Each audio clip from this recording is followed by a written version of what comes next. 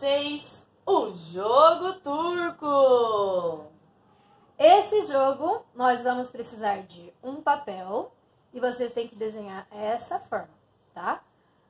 Vocês vão precisar de três tampinhas da mesma cor para cada jogador.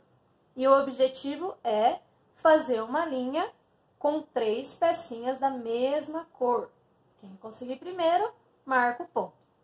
Então, a gente inicia posicionando as pecinhas, as três do mesmo lado, e um dos jogadores vai iniciar